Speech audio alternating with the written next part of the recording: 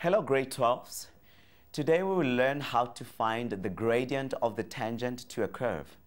Remember, a tangent to a curve is a straight line that touches the curve at a point. And we also must remember that to find the gradient of a straight line, we need two points on the line. Keep these points in mind as we join Donovan and MacGyver who will take us through the steps to find the gradient of a tangent to a curve. They will use the equations and functions that we've looked at in previous lessons. Before we go in search of the tangent, I want to just go back to the idea of the equations and solving them for a moment. These are the equations that we found. You said you'd simply solve them. Can you show us how you were planning on solving them? Okay, I'll show you. I'll do this one as an example. First, I'd rewrite the equation like this.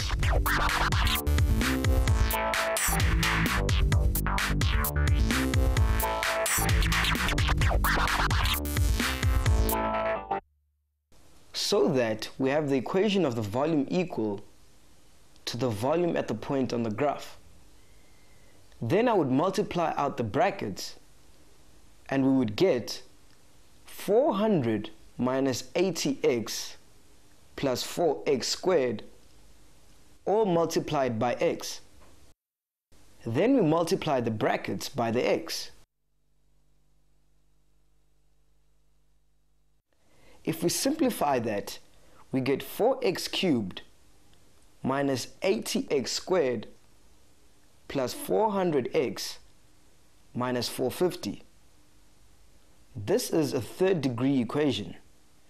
And we learned how to solve these using the factor and remainder theorems. Keep going. f of x equals 4x cubed minus 80x squared plus 400x minus 450. Now I'd have to start looking for values of x that make this equal zero.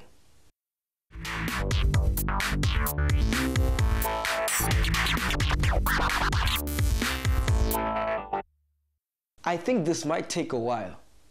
Hang on a second. Before you carry on, I want to suggest to you that you give up this approach. Because you're quite right. It will definitely take you a really long time to find the x value that makes this expression equal to zero. Unless you are lucky enough to find a third degree equation with at least one obvious value of x for which the function value is zero, you are unlikely to be able to solve the equation. Okay, so you're suggesting that I abandon that approach? Yes, I think we need to abandon it and see if we can find a more efficient method. But the good news is that your thinking has actually led to an approach that will help us find a solution. And your approach is very close to the approach used by mathematicians when they invented what we know today as differential calculus. Really? Tell me more. Let's go back to the graph and our original thinking for a moment. We said if we move this line up until we get one intersection in the region of interest. Right, now do you remember what we said about this line? We said that it was a tangent to the curve at the turning point. And if we could find the coordinates of this point, we would have found our solution because at the turning point, the volume is as large as it can possibly be. Quite right. Now tell me something about this line. What is its gradient? Well, it's a horizontal line, so it has no gradient. Can you say that more accurately? Sure thing. More accurately, we would say it has a gradient of zero. Good. And if you can find the point where the tangent to the graph has a gradient of zero, then we will have found the turning point. And we would have solved our problem. And that, MacGyver, is the problem mathematicians faced a long time ago. Finding the gradient of a tangent to a curve at the point on the curve. Let's quickly go over how our problem has developed. I can summarize it as follows. Our first objective was to find the coordinates of the turning point of a graph. The y value of this point would then give us the maximum volume of our box. And the x value would give us the length of the side of the box we would need to get the largest volume. We then realized that we would know the coordinates of the turning point when we knew where the gradient of the tangent to the graph was equal to zero.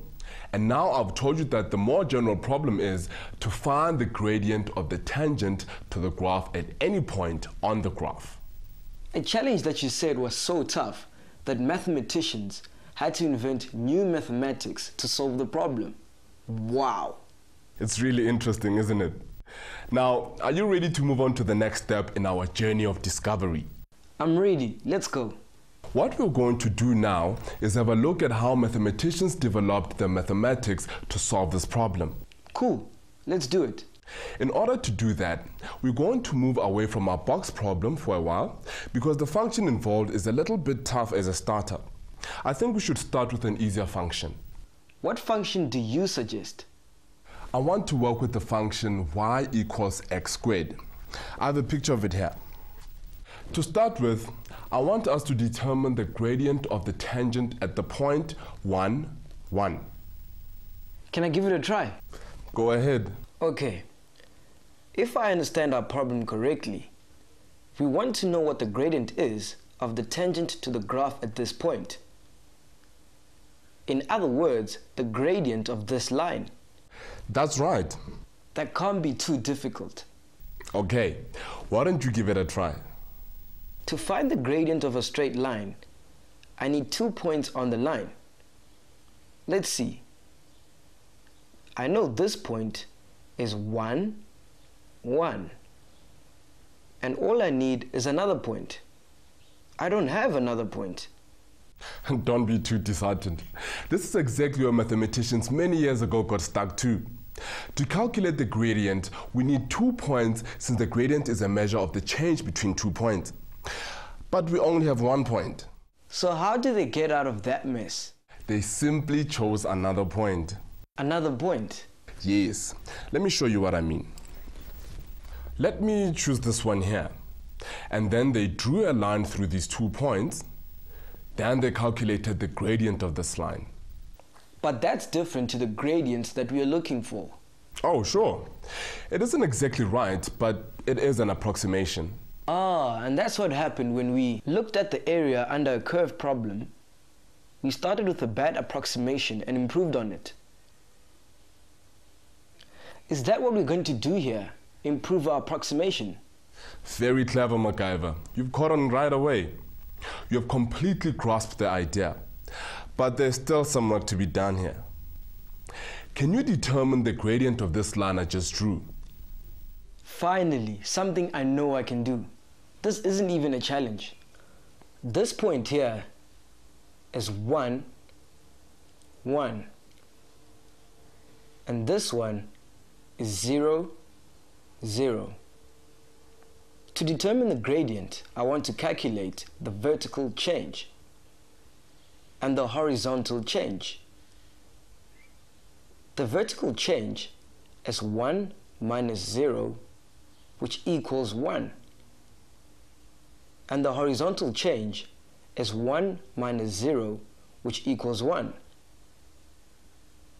Which gives me the gradient, which is 1 divided by 1, which equals 1. Great. Now, as we said before, the gradient that you just found is a very rough approximation of the gradient of the tangent. We want to improve on it. How do you suggest we do that? I suggest that we take the other point and move it closer to 1, 1. As in this picture, we moved it to the point on the graph that has an x value of 1 half and calculate the gradient again. The gradient of that line would certainly be a better approximation of the gradient of the tangent than our first attempt. And then what do we do? I suggest that we take the other point and move it still closer to 1, 1. As in in this picture, we moved it to a point on the graph that has an x value of 3 quarters and calculate the gradient again Good thinking, MacGyver. But I think we should leave it there for today. Thank you for joining us, Grade 12s. Remember to try the task video at the end of this series and to look at our website for more resources. Goodbye.